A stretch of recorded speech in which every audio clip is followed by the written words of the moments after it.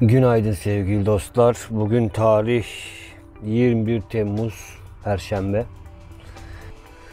Bugünkü planım şöyle. Normalde başka planlarım vardı. Afrodisyas taraflarına falan gitmek istiyordum da e, buradan Nazilli'den dağ yollarından Alaşehir'e doğru devam etme niyetindeyim. Akşam yemek telaşından nasıl bir yere çadır kurduğumu pek gösteremedim. Şöyle bir yer. Hemen şurada 100 metre kadar ileride ana yol var. Denizli İzmir yolu diye geçiyor herhalde bilmiyorum. Şurada şöyle 100-200 metre ileride de şey var. Jeotermal santral. Ben buradan zaten jeotermal enerji santralinin sıcak su borularını da görüyorsunuz orada. Buraya geldim. Böyle geldim buraya. Geceyi burada geçirdim. Şurada yemek yaptım akşam. Şu poşetin içinde de zaten tava tencere var. Yıkamadım. Şimdi onları yıkamayacağım. İleride bir yerde yıkarım herhalde. Çadırım burada. Yavaş yavaş toparlanacağım. Durumlar, vaziyetler şu an böyle. Şimdi oyalanıyorum. Niye oyalanıyorum? Nisa Antik Kenti'nin açılmasını bekleyeceğim. O zamana kadar telaşım yok. Saat zaten daha 7. Bir saatte oralara, bir buçuk saattir oralara giderim. Orada kahvaltıyı da hallederim bir yerde. Şu an suyum var ama burada az suyla idare etmektense ileride çeşme başı bir şey bulursam orada kahvaltı yapma niyetindeyim. Saat 7.25 geçiyor. Ben eşyalarımı toparladım. Hareket etmeye hazırım. Şuradan şöyle girip orada çadır kurdum. Şimdi buradan gidip yoluma devam edeceğim. Şimdi ara yoldan çıktım. Kanalı, demir yolunu geçip şuradan şöyle ana yola bağlanıp yoluma devam edeceğim. Ana yolda 7-8 kilometre yol aldıktan sonra Sultanhisar'a bir iki kilometre tırmandıktan sonra da Nüsa Antik Kenti'ne geldik. Sultanhisar'dan bundan evvel defalarca geçmiş olmama rağmen ana yolun biraz dışında olduğu ve biraz da tırmanış olduğu için her seferinde üşenerek es geçmiştim. İşin aslı böyle yerlere geçerken uğramak pek mümkün olmuyor. Özel olarak gelmek gerekiyor. Uzun zamandır merak edip gelmek istiyordum. Kısmet bugüneymiş. Burası gerçekten Aydın'ın saklı hazinelerinden biri. Hemen hemen herkes Efes'i biliyor ama Nüsa Antik Kenti de kesinlikle görülmesi gereken bir yer. Nüsa tam bir tarih harikası. Kentin tarihi M.Ö. 300'lü yıllara kadar gidiyor. Bu kent tarih boyunca birçok medeniyete ev sahipliği yapmış. İlk olarak Karya Krallığı'na ait olan bu şehir daha sonra Roma ve Bizans İmparatorluğu'nun bir parçası olmuş. Her biri burada izlerini bırakmış. Antik çağlarda bir eğitim ve kültür merkeziymiş. Burada eğitim gören ünlü bilim insanları, filozoflar ve yazarlar düşünüldüğünde bu kentin ne denli prestijli bir eğitim merkezi olduğunu da anlamak mümkün. Yani tarihin ilk üniversite şehirlerinden biri de burası olabilir. Antik Yunan'da üniversite desen burasını gösteriyorlarmış. Hani günümüzde üniversite kampüsleri var ya işte onların atası burası. Şehrin en büyük hazineyi saklayan yerlerinden biri kütüphanesi. Bu kütüphane antik dünyanın en büyük kütüphanelerinden biriydi ve yaklaşık 12 bin el yazması kitabı barındırıyordu. Bugün Efes'teki Celsus kütüphanesinden sonra Ege bölgesindeki en büyük ikinci kütüphane olarak biliniyor. Nüsa sadece tarihi yapısıyla değil aynı zamanda coğrafi konumuyla ve mimari yönleriyle de diğer antik kentlerden ayrılıyor. Şehir Menderes Nehri'nin kenarında iki tepeye kurulmuş ve bu tepelerin arasındaki vadiden geçen bir dere kenti ikiye bölmüş.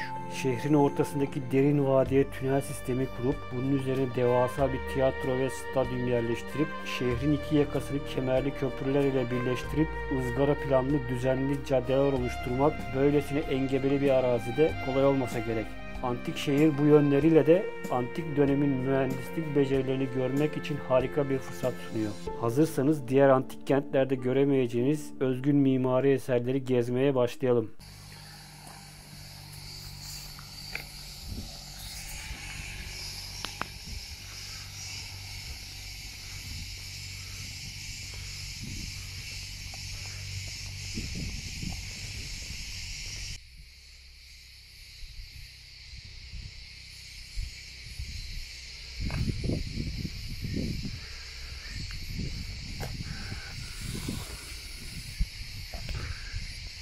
Heron Tapınağı, Dorik Tapınak ve kütüphane caddeler bu taraftaymış.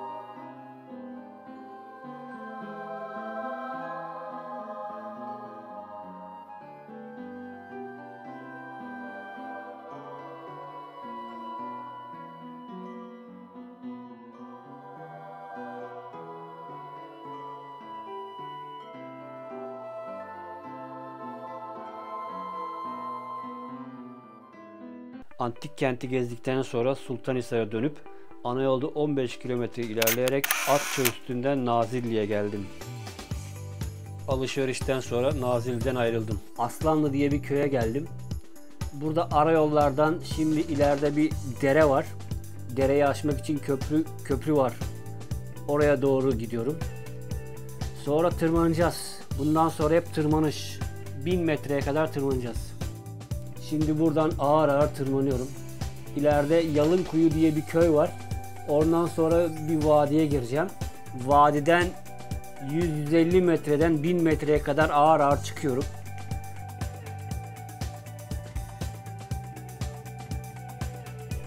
Burası Yalınkuyu köyü. Bu vadi boyunca uzanan bir dere var. Kestel Deresi. İleride zaten Kestel diye bir köy var. Buradan böyle ilerliyoruz bakalım. İşte az evvel dediğim Kestel köyüne de geldim. Kestel'i geçtikten sonra hafif bir inişin ardından tırmanmaya devam ederek Demirciler köyüne doğru ilerliyorum. İşte burada Demirciler köyü. Demirciler 400-500 metre rakımda 3 tane vadinin birleştiği bir noktada kurulmuş bir köy. Bu 3 vadiden de 3 ayrı yol gidiyor. Ben Haydarlar, Ketenova ve Kahve Deresi'nden Ulu Derbent tarafına geçip oradan da Alaşehir'e doğru gideceğim. Diğer iki yol kör. Kuşçular ve Ovacık köylerinden sonra bitiyor. Gerçi Ovacık'tan Ketenova'ya bir yol var ama ciddi bir iniş çıkış yapmak gerekiyor. Burası Nazilli Demirciler Mahallesi'nin çıkışı. İstersen burada okul var, çadır kuracağım dersen. Yağmur yağıyorsa kapalı pazar yeri ve mescit var. Arkada spor sahası, spor sahası var. Kamp kurmaya son derece elverişli yerler buralar. Tırmanmaya devam ediyorum.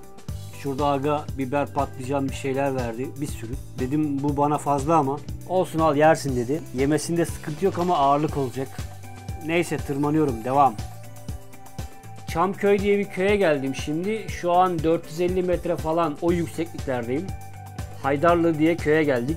Şimdi de herhalde bugünü buralarda bir yerlerde bitireceğiz. Çünkü güneş yavaş yavaş etkisini yitiriyor.